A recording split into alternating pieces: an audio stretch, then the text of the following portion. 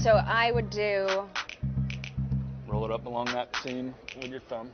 My nails are dirty because I rubbed the balls, Yeah. Oh, and I don't mean that in a naughty way. that's pretty good. Is feel that It, good? feel it in the back of your back of your palm right there. Right. There you go. And then you got, you- and then you just that's hurting me already. Is it really? It's just like you're grabbing the, the whole ball.